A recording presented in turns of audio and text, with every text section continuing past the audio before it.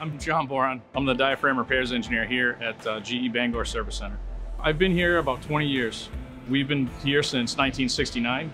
We started off making very small diaphragms that you'd find in industrial steam turbines. And in the steam turbines, you'd find in a lot of uh, Navy ships, both on the surface and also for submarines. We made some of the diaphragms for the first class of uh, Seawolf submarines up here. As we've gone through that progression, we got bigger, so we made bigger and bigger parts.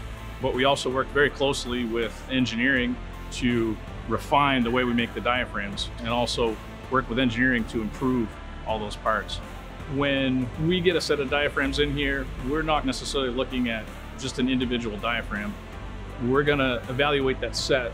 We will try to make sure that the repairs that we recommend for an entire set, you know, the individual repairs are gonna be consistent so that that set is gonna be brought back to the same condition. We want that whole set of diaphragms that we have to go back into the turbine and function as intended. It's been a motto up here at Bangor for a long time to exceed our customers' expectations. We're not looking to cut corners. We're not looking to do a lot of Inconel welding. We're looking to do the repairs right. We do it because that's the way it needs to be done.